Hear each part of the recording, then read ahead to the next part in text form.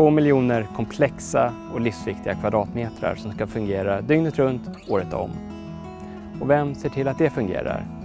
Jo, det är jag och mina kollegor på Lokum, våra leverantörer. Den största utmaningen för mig som förvaltare det är driftsäkerheten på sjukhusen med alla de komplexa system som finns i byggnaden. Och det gäller även vår funktion som ska upprätthållas. Vi har arbetsmiljö, vi har säkerhet, vi har hygienkrav och även tillgänglighetsaspekter i stort.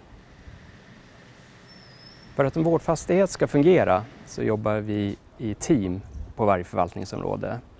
Vi jobbar långsiktigt men vi jobbar också väldigt intensivt när det blir till exempel en driftstörning på sjukhuset. Våra teknikförvaltare jobbar med den långsiktiga planeringen av våra fastigheter. Vi har vår energicontroller som arbetar med energieffektivisering.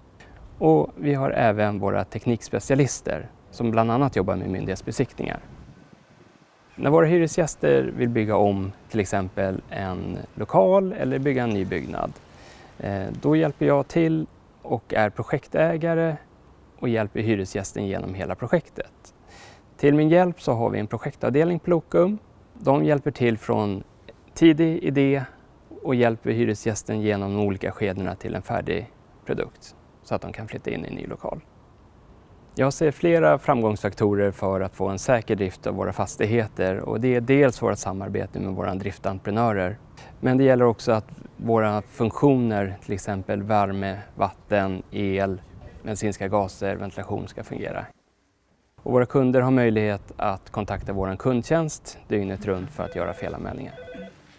Välkommen till kundtjänst, du pratar med Göran.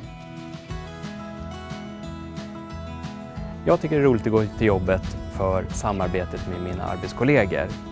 Och dels för att få utveckla vårdfastigheterna för vården och för invånarna i länet.